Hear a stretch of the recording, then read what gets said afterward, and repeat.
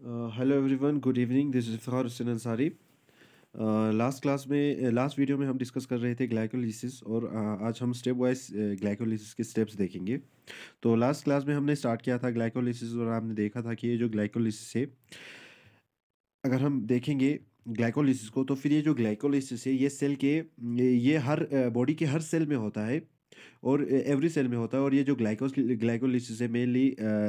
जो अगर हम देखेंगे सेल के अंदर कहाँ होता है तो फिर साइटोसोल में ये मेनली ग्लाइकोलिसिस होता है। तो फिर ग्लाइकोलिसिस में हमने देखा था कि ये जो, इसमें ग्लूकोज जो मॉलिक्यूल है शुगर मॉलिक्यूल है, जो सिक्स कार्बन से बनी हुई होती है, उसका ब्रेकडाउन होता है और इसके ब्रेकडाउन में यहाँ पे दो मेन फेजेस से गुजरना पड़ता है ग्लाइकोलिसिस के दौरान ग्लूकोज को। अगर हम फ़र्स्ट फ़ेज़ देखेंगे तो फिर उसे प्रिपरेटिव फ़ेज़ बोला था, जिसमें हमारे पास जो हमारे पास ग्लू ग्लूकोज है, ग्लूकोज को पहले फॉस्फोरेलाइट किया जाता था, फिर फर्दर इसको फॉस्फोरेलेशन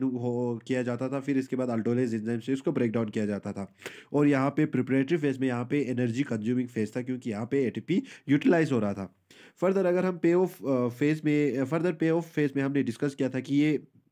अगर हम ये ये ओवरऑल जो रिएक्शन है ये टेन स्टेप प्रोसेस है जिसमें five first five step preparatory phase है एज वेल एज जो लास्ट फाइव स्टेप है, ये जो है पे ऑफ़ स्टेज है पे ऑफ़ फेस है, या स्टेज है। अगर हम पे ऑफ़ फेस की बात करें तो फिर इसमें इस वाले फेस में यहाँ पे एनर्जी कंजम्पशन नहीं होता है, यहाँ पे एनर्जी जनरेशन होता है। एनर्जी मॉलिक्यूल जो हम एटीपी की बात कर रहे हैं, या या reduction of N to N की बात करें तो फिर यहाँ पे एनर्जी रिच मॉलिक्यूल आपके पास जनरेट होता है तो फिर पे ऑफ़ फेस में। तो अगर हम स्टेप वाइज देखना चाहें तो फिर अगर मैं आप लोगों के लिए इजीली अगर आप दिखाऊँ तो फिर यहाँ पे सबसे पहले हमने ग्लूकोज की बात की थी। ग्लूकोज का फॉस्फोरिलेशन हो रहा था। इनटू ग्लूकोज सिक्स फॉस्फेट फिर इसका फर्दर फिर फिर इसका क्या आइसो आइसोमेरेस इंजाइम इसको फ्रुक्टोज सिक्स फॉस्फेट में कन्वर्ट कर रहा था। फर्दर यहाँ पे फिर से फॉस्फोरिलेशन हो रहा था थर्ड स्टेप में और यहाँ पे fructose one six by phosphate बन रहा था। फिर यहाँ पे जो इंजाइम है अल्डोलेस ये क्या काम कर रहा था कि ये जो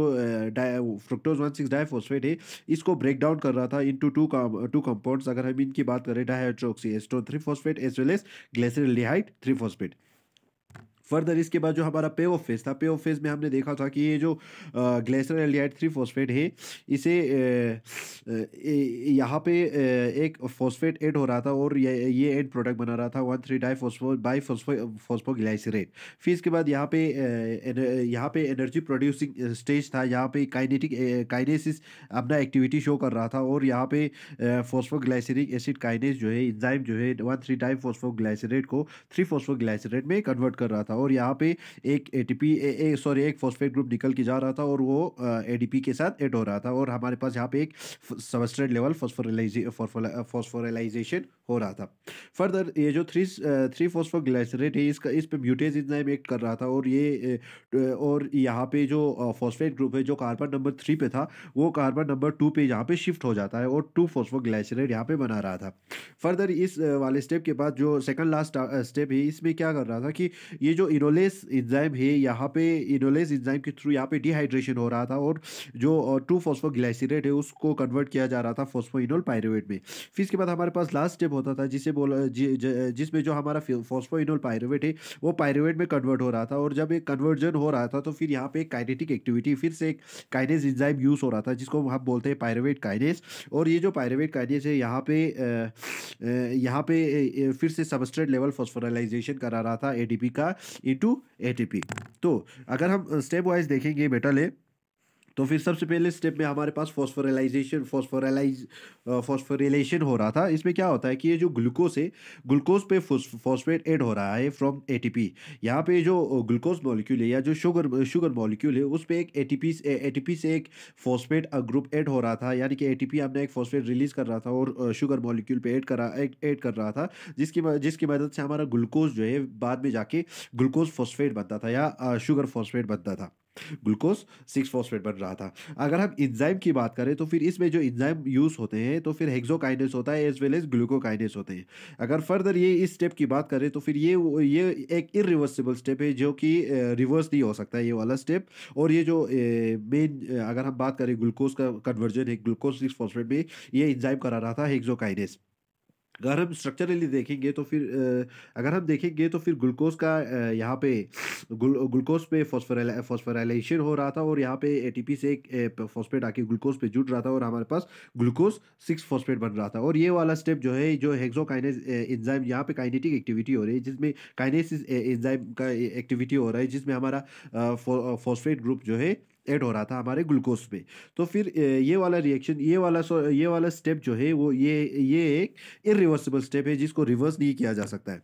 फर्दर अगर हम सेकंड आइसोमेरेशन की बात करें आइसोमेराइजेशन की बात करें, या जो सेकंड स्टेप में होता है ग्लूकोज सिक्स फॉस्फेट का कन्वर्जन होता है into into fructose six phosphate में जो कन्वर्जन होता है, इसको ये जो ये जो कन्वर्जन करता है, ये जो ये कराता है हमारा इंजाइम फॉस्फो ग्लूको आइसोमेरेज या सिंपली हम बोल सकते हैं आइसोमेरेज इंजाइम यहाँ पे कन्वर्ट कर रहा था ग्लूकोज सिक्स फॉस्फेट को इनटू फ्रुक्टोज सिक्स फॉस्फेट अगर हम इस रिएक्शन इस स्टेप की बात करें तो फिर ये वाला step unlikely from the first step ये रिवर्सिबल रिएक्शन है जिसमें हमारे पास केमिकल स्ट्रक्चर रीअरेंज हो सकता है। ठीक फर्दर फर्दर इसमें जो हमारा अल्डोज ग्रुप था ये कन्वर्ट हो रहा था into fructose sorry into ketose और यहाँ पे हमारे पास बन रहा था ग्लूकोज सिक्स फॉस्फेट से फ्रुक्टोज सिक्स फॉस्फेट अगर हम नेक्स्ट स्टेप की बात करें हम लास्ट अगर हम इस सेकंड वाले स्टेप की बात करें तो फिर ये जो स्टेप है रिवर्सिबल रीअरेंजमेंट है जिसमें हमारे पास ये जो रीअरेंजमेंट हो, हो, जाता है केमिकल स्ट्रक्चर का और यहाँ पे फ्रुक्टोज सिक्स फॉस्फेट से फर्दर अगर हम देखेंगे तो फिर ये बैकवर्ड भी जाकर जाके यहाँ पे ग्लूकोज सिक्स फॉस्फेट भी बना सकता है। फर्दर अगर हम थर्ड स्टेप की बात करें तो फिर यहाँ पे एक, और एक फॉस्फोरेलाई फॉस्फोराइलेशन होता था। अगर हम फ़र्स्ट स्टेप की बात करें तो फिर वहाँ पे भी एक फॉस्फोराइलेशन हो रहा था जहाँ, जिसमें हमारे पास एक एटीपी यूटिलाइज हो रहा था, और वहाँ पे एक, वो जो फॉस्फेट है, वो एड हो रहा था हमारे मेन सबस्टेंस के साथ। अगर इस वाले केस में देखेंगे थर्ड स्टेप के, में देखेंगे तो फिर यहाँ पे जो फ्रुक्टोज सिक्स फॉस्फेट है, वो फिर से फॉस्फोरेलाइट फॉस्फोरेलाइट किया जाता था विद हेल्प ऑफ़ एटीपी और यहाँ पे हमारे पास एंड प्रोडक्ट बन रहा था फ्रुक्टोज वन सिक्स बाईफॉस्फेट और यहाँ पे अगर हम इस रिएक्शन की बात करें तो फिर ये वाला स्टेप भी इरिवर्सिबल रिएक्शन है, जिसमें काइनेसिस एंजाइम अपना एक्टिविटी शो करता है और यहाँ पे फॉस्फोट का फॉस्फेट का एडिशन होता है टू फ्रुक्टोज सिक्स फॉस्फेट और याद रखिएगा, ये जो थर्ड स्टेप है फ़र्स्ट स्टेप की हमने बात की थी, वो इरिवर्सिबल था और सेकंड वाला रिवर्सिबल था, लेकिन थर्ड वाला जो है, ये थर्ड वाला स्टेप भी इरिवर्सिबल रिएक्शन होता है। फर्दर, अगर हम स्टेप फोर की बात करें तो फिर यहाँ पे ब्रेक डाउन होता है फ्रुक्टोज अगर हम इसी स्टेप की बात करें सॉरी स्टेप थर्ड की तो फिर आपको देखने को मिलता है कि यहाँ पे जो फ्रुक्टोज सिक्स फॉस्फेट जो कन्वर्ट हो रहा है फ्रुक्टोज वन सिक्स तो ये वाला, ये ये वाला स्टेप जो है रेट लिमिटिंग स्टेप है, जिसमें क्योंकि यहाँ पे इंजाइमेटिक एक्टिविटी बहुत स्लोली होती है और ये वाला रिएक्शन बहुत स्लोली होता है तो फिर ये पूरे ग्लाइकोलिसिस का रेट ऑफ़ रिएक्शन रेट पूरे ग्लाइकोलिसिस का अगर हम रेट ऑफ़ रिएक्शन देखेंगे तो फिर ये डिपेंडेंट होता है इस वाले स्टेप पे। फर्दर अगर हम नेक्स्ट स्टेप में देखेंगे तो फिर यहाँ पे जो fructose one six bi phosphate बना हुआ है, ये जो fructose one six phosphate bi बना हुआ है, यहाँ पे इसका ब्रेकडाउन होता है। यानी कि इसका क्लेवेज होता है। क्लेवेज होता है with help of enzyme aldolase ये जो इंजाइम अल्डोलेस है, ये कन्वर्ट कर ये ब्रेक डाउन करता है, या क्लेवेज करता है हमारे fructose one six bi phosphate को into glycer aldehyde three phosphate as well as dihydroxy acetone phosphate में ये हमारे फ्रुक्टोज वन सिक्स फॉस्फेट को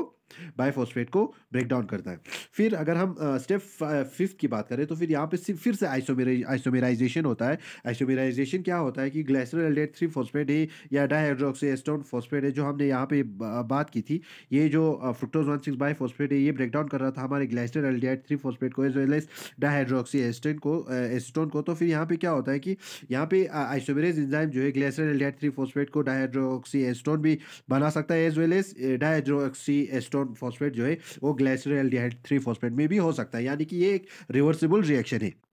और इस वाले रिएक्शन में जनरली अगर हम ग्लाइकोलिसिस की बात करें तो फिर ग्लाइकोलिसिस में डाईहाइड्रोक्सी डाईहाइड्रोक्सी एस्टोन फॉस्फेट जो है उसे कन्वर्ट किया जाता है। उसे कन्वर्ट किया जाता है इनटू यानी कि ऑक्सीडाइज किया जाता है into glyceraldehyde three phosphate में। और आ, अगर हम इंजाइम की बात करें तो फिर इसमें इंजाइम जो यूज़ हो रहा है, वो ट्रायोस फॉस्फेट आइसोमेरेस है और ये वाला रिएक्शन भी रिवर्सिबल रिएक्शन है। सॉरी लास्ट स्टेप में लास्ट रिएक्शन लास्ट स्टेप की अगर हम बात करेंगे तो फिर ये जो fructose one six bi phosphate है, ये जो अगर हम इस स्टेप की बात करें तो फिर इस वाले पे, इससे पहले वाला स्टेप जो है, इसको हमने बोला था कि ये रेड लिमिटिंग स्टेप है। एज वेल एज ये ये और ये और एक इंपॉर्टेंट स्टेप है, क्योंकि यहाँ पे जो fructose one six bi phosphate जो हमारे पास बन रहा है एंड प्रोडक्ट जो हमारे पास fructose one six bi phosphate बन रहा है, इसका कोई और फेट नहीं है। इसको ग्लाइकोलिसिस ही होना है। बाकी क्या, अगर हम स्टेप्स देखेंगे तो फिर उसमें जो हमारे पास कंपाउंड या ये बन रहे हैं तो फिर वो उन, उनका कुछ और फेट हो सकता है। लेकिन यहाँ पे fructose one six bi phosphate का फेट यही है कि कि इस, अगर ये बना है तो फिर इसका ग्लाइकोलिसिस होना है और इसका कुछ नहीं हो सकता है।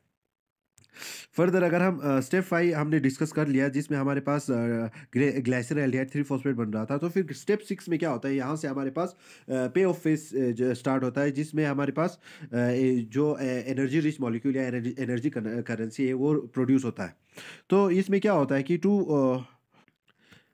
अगर हम इस स्टेप की बात करें तो फिर इसमें हमारे पास जो हमारा एल्डिहाइड ग्रुप है, वो कार्बोक्साइलिक ग्रुप में कन्वर्ट हो जाता है, जिसमें जो ग्लाइसर एल्डिहाइड है। यहाँ पे two molecule of glyceraldehyde लिखने का मतलब ये है कि जो हमने लास्ट स्टेप में ये देखा था कि हमारे पास दो ब्रेक डाउन हो रहा था fructose one six bi phosphate का glycer aldehyde three phosphate as well as dry acetone लेकिन नेक्स्ट स्टेप में क्या हो रहा था कि ये ड्राई डाई एस्टोन है, ये भी बन रहा था ग्लाइसर एल्डिहाइड थ्री फॉस्फेट तो फिर यहाँ से हमारे पास जो रिएक्शन आगे चलेगा तो फिर वो इन पेयर में चलेगा। दो दो रिएक्शन होंगे क्योंकि यहाँ पे हमारे पास दो ग्लेसर एल्डिहाइड थ्री फॉस्फेट बने हुए हैं। तो फिर यहाँ पे दो molecule of glyceraldehyde three phosphate का ऑक्सीडेशन होता है और ये और ये कराता है enzyme glyceraldehyde three phosphate dehydrogenase और यहाँ पे ये कन्वर्ट करता है ग्लेसर एल्डिहाइड थ्री फॉस्फेट को वन थ्री बाई फॉस्फो में। ठीक? अगर हम इसके रिजल्टेंट रिएक्शन रिएक्शन को देखेंगे तो फिर यहाँ पे रिडक्शन हो रहा है एन का इंटू एन और एक हमारे पास एनर्जी करेंसी प्रोड्यूस हो रही है जिसको हम बोलते हैं NADH और ये यहाँ पे रिडक्शन होने की वजह से होता है एनएडी का इंटू एन और फर्दर इंजाइम जो है इसमें जो है ग्लाइसरल थ्री फॉस्फेट डिहाइड्रोजनेस है और ये वाला स्टेप जो है रिवर्सिबल है। ये रिवर्सिबल नहीं है। अभी तक हमने देखा कि स्टेप वन और स्टेप थर्ड जो है वो इरिवर्सिबल था। लेकिन ये वाला स्टेप जो है उसके अलावा जो स्टेप्स हमारे पास अभी तक आए थे, ये सब रिवर्सिबल स्टेप्स है। फर्दर अगर हम स्टेप सेवन की बात करें तो फिर अगर हम इस स्टेप की बात करें तो फिर इस स्टेप में क्या होता है? नेक्स्ट स्टेप में स्टेप सेवन में कि यहाँ पे जो फॉस्फोरलाइजेशन होता है, किसका जो हमारा एडीपी है, यहाँ पे एक एनर्जी करेंसी हमारे पास प्रोड्यूस होती है। एक नहीं, अगर हम बात करेंगे, दो दो होगी, क्योंकि हमने बताया था कि यहाँ पे जो रिएक्शन आगे चलेंगे, ये दो दो में होंगे डबल होंगे। तो फिर यहाँ पे क्या होता है कि हाई एनर्जी फॉस्फेट जो पहले जनरेट हुआ था, उसे उसे ट्रांसफ़र किया जाता है टू एडीपी और यहाँ पर हमारे पास एक एटीपी जनरेट होती है। एक्चुअली दो एटीपी जनरेट होती है। अगर हम इस फॉस्फर रिलाइजेशन को देखेंगे, जिसमें हमारे पास ये जो एडीपी है, उस पर एक फॉस्फेट ग्रुप एड हो रहा था। तो फिर इसको इस स्टेप को बोला, इस इस चीज़ को बोला जाता है, जहाँ पे हमारा एडीपी जो है एडीपी पे एक एटीपी एक फॉस्फेट ग्रुप एड किया जाता है और यहाँ पे एक एटीपी जनरेट होता है। तो फिर इसको बोला जाता है सबस्ट्रेट लेवल फॉस्फोराइजेशन क्योंकि इसमें जो फॉस्फेट डोनर है, ये मेन कंपाउंड है वन थ्री बाई फॉस्फोग्लाइसरेट खुद है। फिर अगर हम इसके एंड प्रोडक्ट्स की बात करें तो फिर यहाँ आपके पास थ्री फॉस्फोग्लाइसरेट एंड प्रोडक्ट में आ जाता है, जिसमें जिसमें जहाँ एक फॉस्फेट ग्रुप यहाँ पे बाहर निकल गया होता है और वहाँ पे एडीपी से एडीपी के एडीपी को फॉस्फोराइट कर देते हैं। तो फिर यहाँ पे दो एडीपी और दो एटीपी लिखने का मतलब ये है कि यहाँ पे हमारे पास रिएक्शन जो है वो डबल में हो रहा है। यानी कि साइमल्टेनियसली दो one three type one three bi phosphoglycerate का यहाँ पे सबस्ट्रेट लेवल यहाँ पे काइनेज एक्टिविटी इन पे एक्ट हो रहा है। वन थ्री डाई दो वन थ्री डाई फॉस्फोग्लाइसरेट पे हमारे पास दो दो one three one di phosphoglycerate पर यहाँ पे हमारा इंजाइम काइनेस एक्ट हो रहा है और यहाँ पे दो ए, दो एडीपी पे यहाँ पे दो दो एडीपी पे यहाँ पे फॉस्फेट ग्रुप ऐड हो रहा है यानी कि सबस्ट्रेट लेवल फॉस्फोराइजेशन फॉस्फोराइजेशन हो रहा है और यहाँ पे हमारे पास दो एटीपी जनरेट हो रहा है। ठीक और ये वाला स्टेप भी है रिवर्सिबल स्टेप है। फर्दर अगर हम नेक्स्ट स्टेप की बात करें स्टेप एट की बात करें तो फिर इसमें क्या होता है कि स्टेप एट में क्या होता है कि यहाँ पे हाइड्रोलिस यहाँ पे क्या होता है कि जो थ्री कार्बन थ्री पे जो हमारे पास फॉस्फेट ग्रुप है, उसे उसे चेंज किया जाता है, यानी कि ट्रांसफ़र किया जाता है ऑन कार्बन टू, रिप्लेस किया जाता है कार्बन टू पे, यहाँ पे फॉस्फेट ग्रुप को ऐड किया जाता है, जिसकी मदद से हमारे पास जो थ्री फॉस्फोग्लाइसरेट है, वो हमारे पास म्यूटेज इंजाम यहाँ पे एक्ट करता है और यहाँ पे हमारे पास टू फॉस्फोग्लाइसरेट जनरेट होता है। फर्दर अगर हम स्टेप नाइन की बात करें तो फिर इसमें डिहाइड्रेशन डिहाइड्रेशन होता है। Two phosphoglycerate. इस स्टेप में क्या होता है कि जो हमारा टू फोस्फोग्लाइसरेट है, इसका डिहाइड्रेशन होता है with help of enzyme enolase यहाँ पे इंजाइम एनोलेस इस पर एक्ट करता है, और यहाँ पे जो हमारे पास टू फोस्फोग्लाइसरेट है, उसे कन्वर्ट किया जाता है इनटू फोस्फोइनोल पायरेवेट अगर हम देखें देखेंगे तो फिर ये वाला रिएक्शन भी रिवर्सिबल रिएक्शन है। फर्दर अगर हम स्ट्रक्चरल देखेंगे तो फिर यहाँ पे जो हमारा टू फोस्फोग्लाइसरेट है, उसे कन्वर्ट किया जाता है। यहाँ पे इसका डिहाइड्रे डिहाइड्रेशन होता है और एक वाटर मॉलिक्यूल रिलीज़ होता है और यहाँ पे हमारे पास एंड प्रोडक्ट बनता है फॉस्फोइनल पायरवेट और यहाँ पे जो इंजाइम यूज़ हो रहा है वो है इंजाइम इनोलेस और ये वाला स्टेप भी है, हमारे पास रिवर्सिबल स्टेप है, यहाँ पर रिवर्स हो सकता है ये वाला स्टेप भी। फर्दर अगर अगर हम टेंथ स्टेप की बात करें लास्ट स्टेप की बात करें तो फिर इसमें क्या होता है कि एक जो फॉस्फेट ग्रुप है फर्दर एड किया जाता है। यहाँ पे फर्दर और एक सेकंड सबस्ट्रेट लेवल फॉस्फोराइलेशन हो रहा होता है, जिसमें हमारे पास एडीपी पे और एक फॉस्फेट ग्रुप ऐड किया जाता है एनर्जी रिच इस वाले, इस, ये वाला जो रिएक्शन अगर हम बात करेंगे तो फिर लाइक वाइज जो हमारा फ़र्स्ट स्टेप था फिर इसके बाद हमारा थर्ड स्टेप था, और हमारे पास ये टेंथ जो स्टेप है, ये जो स्टेप है, ये इरिवर्सिबल स्टेप है। यहाँ, यानी कि यहाँ पे रिवर्स नहीं हो सकता इस वाले रिएक्शन का। फर्दर इसमें क्या होता है कि जो एनर्जी रिच जो हाई एनर्जी रिच जो हमारे पास फॉस्फोराइल ग्रुप है या फॉस्फेट ग्रुप है, उसे का, उसे ट्रांसफ़र किया जाता है from phosphoenol pyruvate phosphoenol pyruvates यहाँ पे एडीपी पे ट्रांसफ़र किया जाता है। अगर हम इस रिएक्शन की बात करें तो फिर ये इस रिएक्शन में एक काइनेज इंजाइम यूज़ होता है, जिसका नाम है पायरेवेट काइनेज और ये जो रिएक्शन है, ये जो इस रिएक्शन में भी जो फॉस्फेट ग्रुप एड हो रहा है एडीपी पे तो फिर इसको बोला जाता है second substrate level phosphorylation in glycolysis जिसमें हमारे पास एटीपी जनरेट होता है। अगर हम इस के थ्रू देखेंगे तो फिर जो हमारे पास फॉस्फोइनोल पायरेवेट है, उसे कन्वर्ट किया जा रहा था इंटू पायरेवेट और यहाँ पर हमारे पास दो एडीपी उसको, उसका सबस्ट्रेट लेवल फॉस्फोरिलेशन हो रहा था और हमारे पास एटीपी जनरेट हो रहा था, दो एटीपी जनरेट हो रहा था। ठीक, ये वाला स्टेप भी इरिवर्सिबल है। यहाँ पे भी ये वाला रिएक्शन भी likewise first step third step and last step this three steps are irreversible steps in glycolysis further अगर हम ओवरऑल बैलेंस शीट देखेंगे तो फिर हमारे पास एक ग्लूकोज एड हुआ था यूज़ हुआ था। दो एटीपी हमारे पास प्रिपरेटिव फ़ेज़ भी यूज़ हुआ था। दो फॉस्फेट ग्रुप हमारे पास एड हो रहा था। ओवरऑल रिएक्शन की बात कर रहे हैं। दो एन यूज़ हो रहा था, दो हाइड्रोजन मॉलिक्यूल यूज़ हो रहे थे और चार एडी भी यूज़ हो रहे थे। फर्दर अगर हम देखेंगे तो फिर अगर हम एंड प्रोडक्ट देखेंगे तो फिर हमारे पास दो पायरेवेट हमारे पास जनरेट हो रहा था। हो रहा है दो एनएडीएच हमारे पास जनरेट हो रहा है, दो एटीपी निकल रही है, दो हाइड्रोजन निकल रही है एज वेल एज दो वाटर मॉलिक्यूल भी हमारे पास निकल रही है। तो फिर अगर हम इस रिएक्शन में देखेंगे क्या हो रहा है तो फिर इसमें जो ग्लूकोज है, उसको ऑक्सीडाइज किया जाता है इंटू पायरेवेट ग्लूकोज का ऑक्सीडेशन होता है और एंड प्रोडक्ट हमारे पास बनता है पायरेवेट इसमें एन जो है, उसका रिडक्शन होता है और एन हमारे पास जनरेट होता है। और एटीपी जो होता है उस पर फॉस्फोरिलेशन हो रहा है हो रहा होता है और यहाँ पे एटीपी हमारे पास जनरेट हो रहा होता है अगर हम ओवरऑल एनर्जी यील्ड की बात करें तो फिर फ़र्स्ट स्टेप में अगर हम देखेंगे तो फिर फ़र्स्ट स्टेप में हमारे पास एक एटीपी यूज़ हो रहा था और थर्ड स्टेप में भी और एक एटीपी यूज़ हो रहा था फिर अगर हम ए टी कहाँ पर जनरेट हो रहा था वो स्टेप की बात करें तो फिर सेवन स्टेप पे हमारे पास दो एटीपी जनरेट हो रहा था और टेंथ